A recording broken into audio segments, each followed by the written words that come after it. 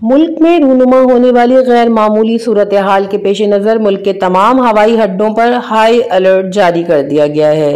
इस हवाले से जराये ने बताया कि एफ़ आई ए को हिदायत जारी की गई है कि सरकारी अफसरान को बगैर एन ओ सी बैरून मुल्क जाने की इजाज़त न दी जाए।